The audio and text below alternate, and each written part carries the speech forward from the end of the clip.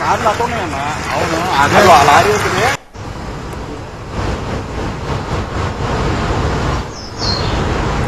ఇంకా విజయవాడ నగరం జల దిగ్బంధంలోనే ఉంది.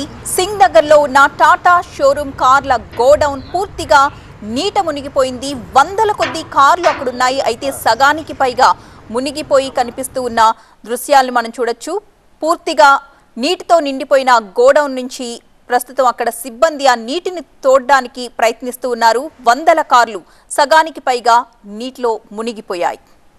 ఇంకా జల దిగ్బంధంలోనే మనకి విజయవాడ నగరం కనిపిస్తోంది.